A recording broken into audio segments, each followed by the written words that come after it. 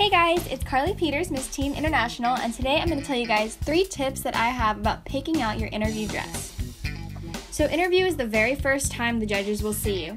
They've seen your headshot and they've read your bio, but they've never met you in person. That's why picking the right interview outfit is important in making a good first impression. So, number one, pick a color that suits your skin tone.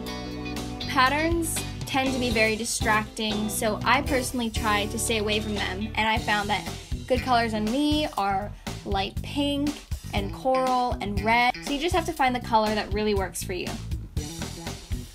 Number two, interesting necklines are great, but again, don't be too distracting.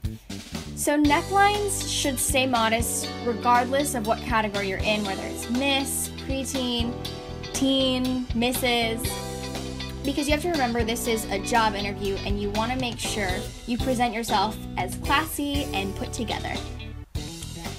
My third tip pretty much sums up the last two, and you have to remember whatever you choose is not going to distract from your interview. So, interview is the only part of competition that's extremely close up.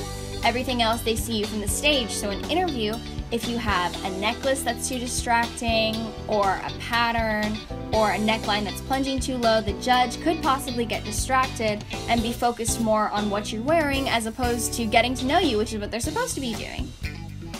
So, those are my three tips. I hope you guys enjoyed them and I hope they were helpful for picking your next interview dress for your pageant. Bye!